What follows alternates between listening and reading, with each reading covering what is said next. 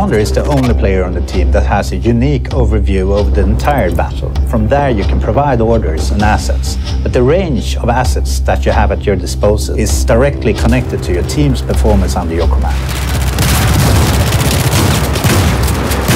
The commander supports his team in three different ways. The first layer is the intel warfare. This is where you gather intel, but you also prevent the other commander from doing so. The second layer is about providing your troops with vehicle drops, supply drops to keep the war machinery going. And the final layer, that's when you go on the offensive.